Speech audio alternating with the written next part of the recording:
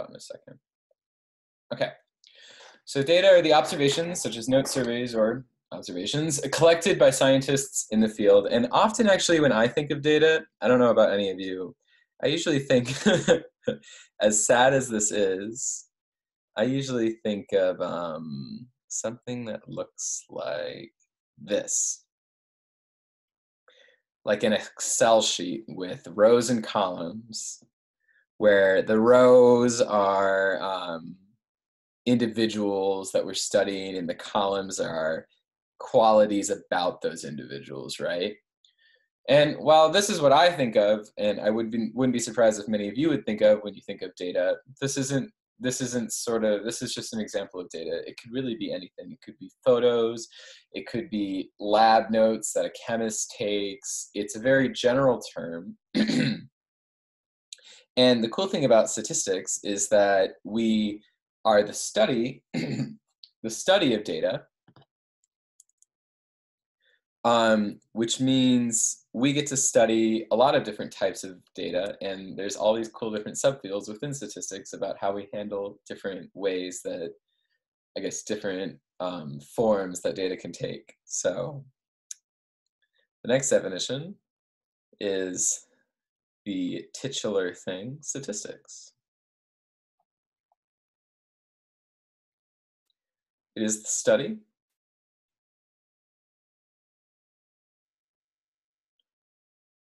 Of how best to collect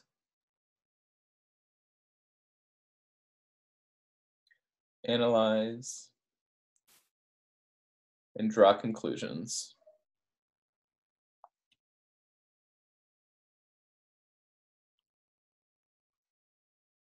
from data.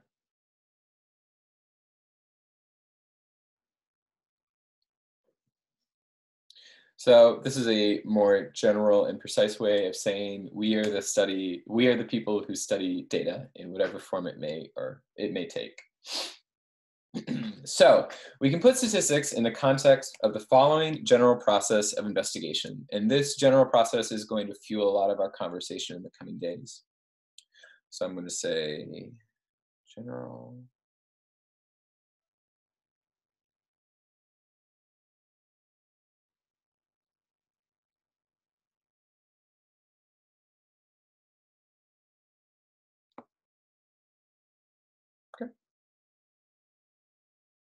fun. We have identify a question or problem.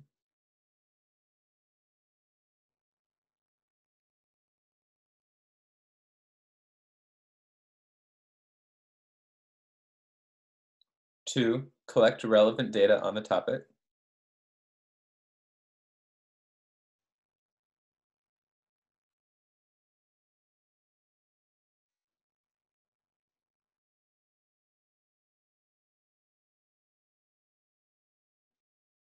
Three, analyze the data.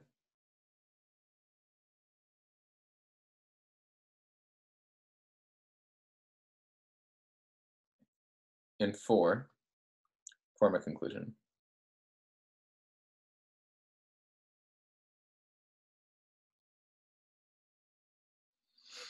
So in this class, we are going to mostly be focusing on these three. The first one I might actually leave up to you. The world is your oyster, so you should decide on what interests you, what your own questions are, and develop the problems for yourself. but once you do so, we can help you um, figure out the answers to those questions in a very um, logically sound way. we'll also discover that people seem to be good at one, three, and four, but two is something a lot of people aren't that good at. Um, and I really hope to show you how we can be good and well reasoned whenever we collect our data, because a lot of people do it in such a way that leads to incorrect conclusions. So.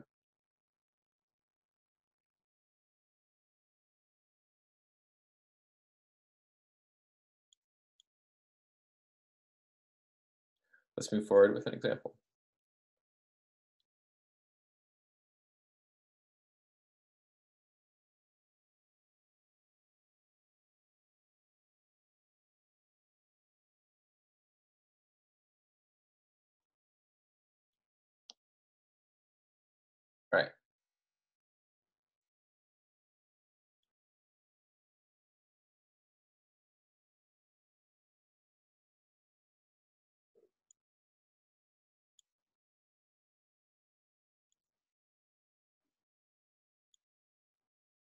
So this is a stent. And it's a surgical implant that you put in a vein. Um, and the idea is, or I guess it's postulated, that this implant will reduce the chance of you getting a stroke.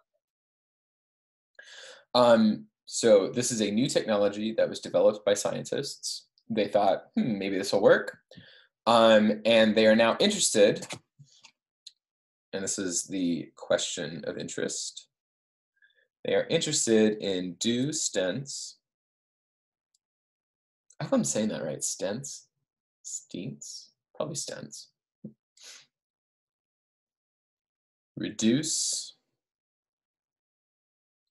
the risk of stroke in certain at-risk patients.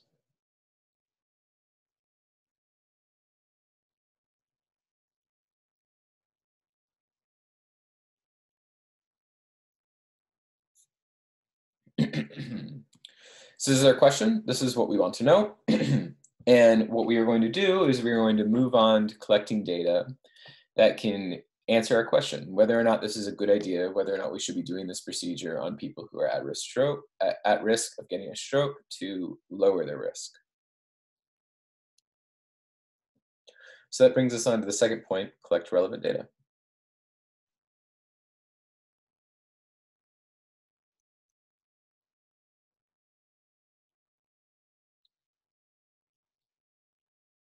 So what we did um, is we took 451 patients who volunteered for this, mind you, which we'll talk about voluntary response pretty soon.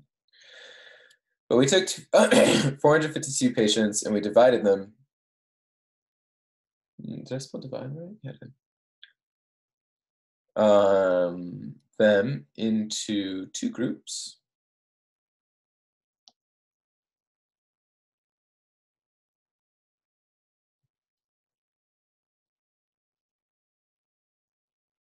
Treatment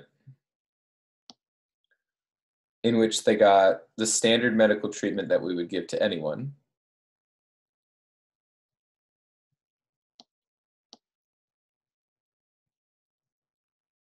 as well as having a stent implanted and the control. in which they were not given a stent and they were just given the standard medical treatment.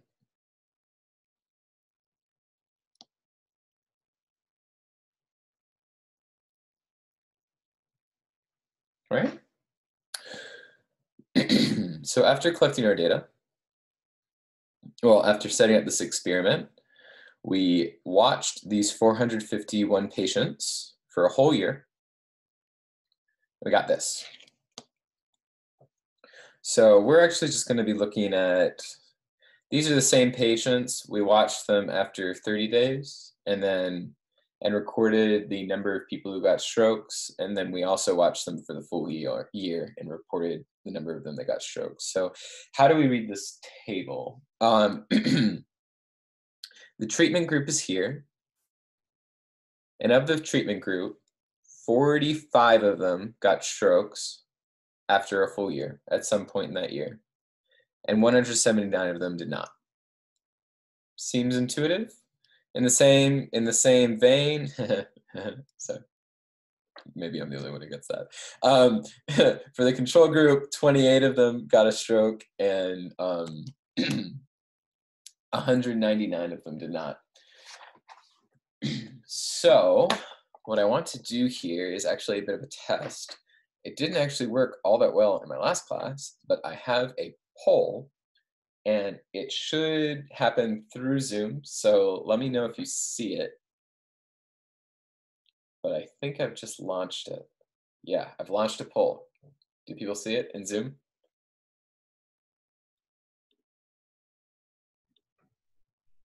Yes. Thank you.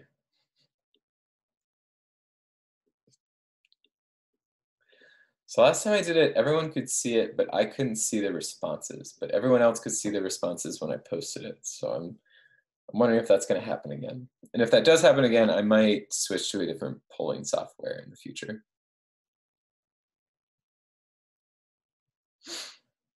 So we want to know, I'm asking how, um, according to this table, just to sort of gauge our understanding of it, how many um, subjects were in the control group? And I'll give us like 15 more seconds.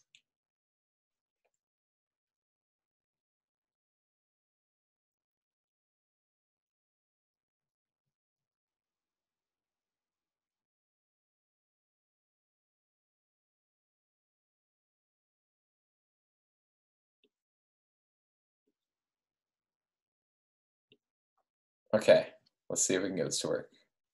End the poll. Okay. Can you all see the breakdown? Yeah, okay. I cannot, which is why, oh goodness, my iPad blanked out. Um, which is why I don't think I'm gonna use the software in the future. Can somebody tell me what, what the breakdown is? Um, 92% said 227, 0% said 224, 4% said 46, and 4% said 378. All right, very nice. Thank you. Thank you. Um, was that Olivia? Thank you, Olivia. Yeah. Um, so uh, 90% of you are correct. Uh, the way we would read this table, which, you know, it's very encouraging. You, you all seem to get it. Um, The way we read this table is in the control group. Um, 28 were got strokes, 199 did not get strokes. So adding both of those together, the total number who were just considered, the total number in the experiment is 28 plus 199, which is 227. Note this is kind of a repeat of this data. This is the same people that we saw after a year. We're just also checking in on them after 30 days. And if you were to add these two numbers together, 13 and 114, that would also be 227. So there are indeed 227 in the control group. And note also, this is what we would call an unbalanced study because I think that there are only 224 in the treatment.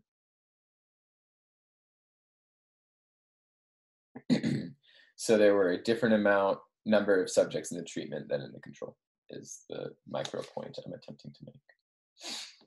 All right, we have one other, we have, um, I have two other little definitions I want to talk about, and then that's actually going to wrap up this lecture. It's was intentionally short, um, and I'll have another, I'll give us a little bit more time for questions at the end in case anyone's having any trouble with WebAssign or Sakai or anything. Um, so this example with our stents is an example of an experimental study. Um,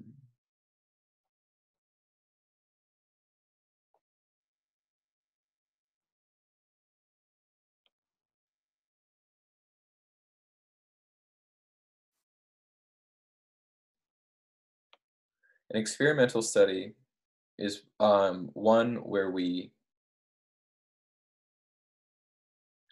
impose a condition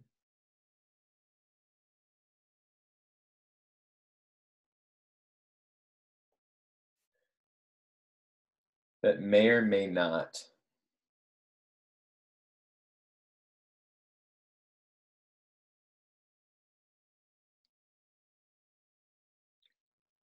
have altered the data.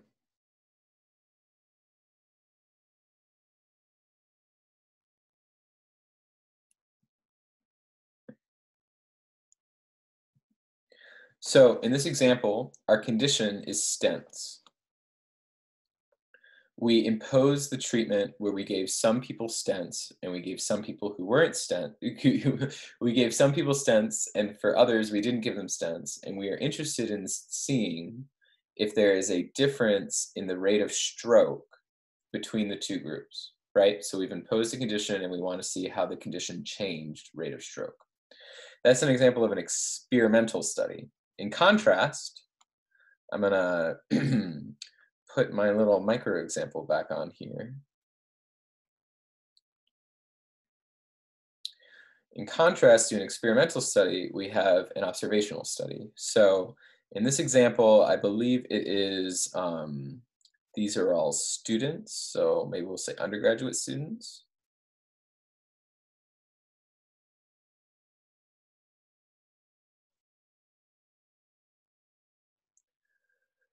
And what we have done here is we have just collected information on each of the undergraduate students. We have not imposed any sort of treatment. We are merely observing. So um, being a little bit more formal,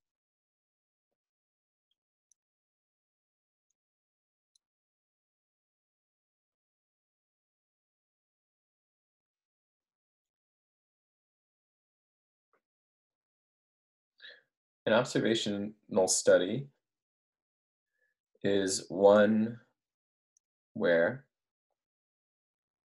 we simply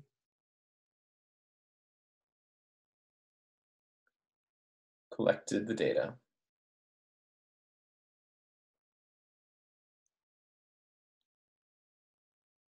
on something that was already happening.